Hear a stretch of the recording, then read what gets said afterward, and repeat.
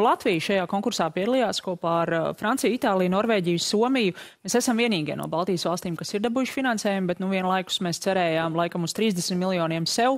Tagad ir kopā visām šīm piecām valstīm 40 miljonu švinkskungs. Nu, apmēram ar kādu summu mēs varam rēķināties, vai tur Kāds, kāda ir tā vienošanās? Vai tā summa tiek kaut kā proporcionāli dalīta, vai tomēr tur ir kaut kādi citi kriteriji, ja mēs skatāmies uz tiem piešķirtajiem 40 miljoniem, kas varētu nonākt Latvijā? Es domāju, šobrīd šis ir ļoti vienkāršot teikts. Ja mēs paskatāmies mazliet apakaļ, Latvija ir ļoti smagi strādājusi un izvirzījusi savu ambīciju būt eh, munīcijas ražošanā. Un šeit var teikt paldies arī iepriekšējiem eh, aizsardzības ministriem un valsts sekretāram, valsts sekretāra vietniekam, kas ir daudz darījuši, jo biznesā šajā eh, munīcija ražošanā neviens nevienu negaida. Tur ir jāizcīna savu vietu. Un Latvija ir ieguldījusi milzīgu darbu. Arī uh, Andris Sprūts nākot uh, savā amatā izvirzīja par mērķi, ka Latvijai ir jāražo munīcija, un šis projekts jā, ir jānoved līdz galam. Un tāpēc tika daudz strādāts. Tika... Bet jautājums skaidrs, ka tika strādāts, un visi ministri strādā. Jautājums, kā, jautājums kādas tagad būs mūsu iespējas ar to finansējumu, kāds galu galā mums ir piešķirts? Es domāju, mums ir mērķis un finansējums ir viena, viena daļa no, no, no rūpnīcas, kas ir nepieciešams. Latvija ir gatava arī pati ieguldīt. Latvija ir pieņēmusi attiecīgus lēmumus, tāpēc ir arī dibināta uh, valsts kapitāla sabiedrība, valsts aizsardzības korporācija. Šī ir viena no 155 mm artērijas lādiņu modulāro sastāvdaļu ražotne, kas ir sākums visam. Un tā ir pilnīga apņemšanās, un, eh, un startēšana ASAP projektā ir viena no šī projekta sastāvdaļām. Nu, Rajo kungs, jūs nu pat minējāt, ka pusmiljards ir viena rūpnīca. Es pieņemu, ka tā varbūt nav tāda mēroga rūpnīca, kā plānota. Jā, nu, Latvija, ir jāsaprot tā, ka um, Švingas kungs pareizi pateica, mēs piedalīsimies komponentu ražošanā visai te. Nē, es nedomāju, ka mums būs uh, no nu, reālā 155 mm lādiņu uh, rūp, ražošanas rūpnīca šeit, jo mēs atceramies, mums bija liepais metalurgs. Liepais metalurga nepietiks ne viņa kvalitātes, to, ko viņš ražoja uh, metālu, uh, ne viņa apjomi nepietiktu, lai uzturētu reāli normālo 24-7 ciklu šī rūpnīcai lādiņu ražošanai. Tāpēc nu, jāsaprot, ka Latvija tomēr ir maza valsts, mums ir savi, nu, teiksim, savas spējas, bet ir jāsaprot, kur arī mūsu robeža ir, ko mēs varam izdarīt, ko mēs nevaram izdarīt. Nē, es tomēr papildinātu, nevaru arī teikt, ka 500 miljardi pilnīgi nav nekas. Tas ir uh, Piekrītu, tas nav daudz, bet uh, Latvijai būtiskā daļa, ka Latvija šī gadījumā projektā iekļaujas kopā ar Somiju, Norvēģiju, Franciju, Itāliju, mēs esam ražošanas, loģistikas, menedžmenta šajā tīklā. Nu, tikai lai nejauktu skatītājiem 500 miljardi, tas nav Latvijai. Protams. Latvijai ir daļiņa no 30 miljardiem. Protams. tāpēc es, protams, ka mums bija kaut kādi plāni un kaut kādas ieceres, ko mēs ar šo finansējumu un savu līdzfinansējumu varēsim paveikt. Un tas, ko es mēģinu saprast, vai mums šobrīd ir no kaut kādām iecerēm jāatsakās? Nē, mēs no nevienām savām iecerēm neatsakamies. Mums ir savs biznesa plāns, mēs ar to virzamies uz priekšu, un, un e, šie darbi ir bijuši visu šo laiku kopš decembra. Decembris, janvārs, februārs ir.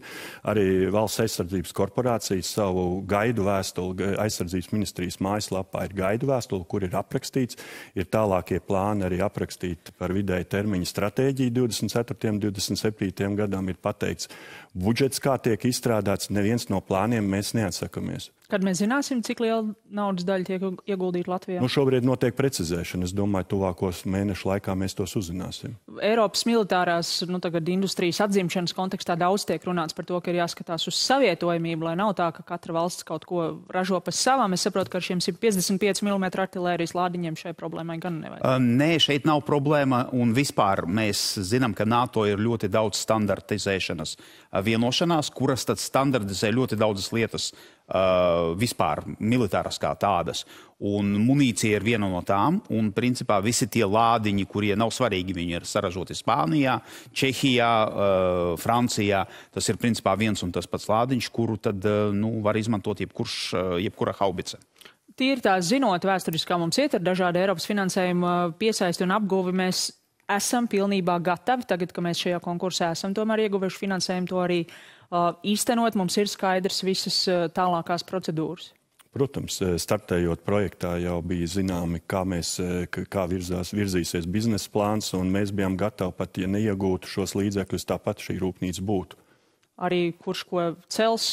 Absolūti viss ir skaidrs. Tāpēc mēs esam partnerībā ar Somu, un Norvēģiju, Franču un Itāļu kolēģiem. Tāpēc arī ir Latvijā vieglāk. Un šī militārās ražošanas procesā jāsaprot, ko Latvija iegūst arī zināšanu pārnese kad mēs nestartējam no līdzenas vietas, mums ir kolēģi ar zināšanām, know-how, kuri tiek atnest uz Latviju un kur mēs esam gatavi ļoti īsā laikā uzsākt arī ražošanu. Starp citu, Ukrainas piemērs rāda, ka militārās ražotnes karam sākoties kļūst par agresoru mērķi, vai tas ir aspekts, kas ir jāņem vērā? Nu, nepaslēpts jau, vai ne? Bet uh, to var kaut kā ņemt vērā? Uh, es neteiktu, ka nevar paslēpt. Ir arī lietas, uh, nu, atcerēsimies Otro pasaules karu. Uh, Vāciju uh, 44. un 45. gadā bombardēja tā, ka mūs nebēdu. Uh, Toties viņiem rūpnīcas visas strādāja, tanki ražojās, lidmašīnas ražojās.